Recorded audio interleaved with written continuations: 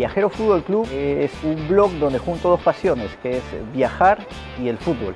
Ahora el 99.99% de contenido probablemente está ligado al fútbol, pero he tenido muchos viajes no relacionados a fútbol, por ejemplo. ¿no? He estado en Tailandia, en Turquía, en Emiratos Árabes, sin pisar un estadio.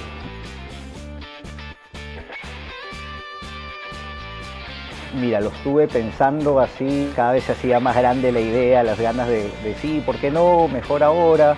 Previa investigación, pues vi que no había un proyecto así, decidí compartirlo porque hay mucha gente que quiere el estadio, pero por ahí que no sabe cómo, cómo es la fiesta dentro, tienen digamos, algún concepto probablemente negativo de lo que puede pasar alrededor de lo que es un partido y nada, decidí compartirlo y aquí estamos, ¿no?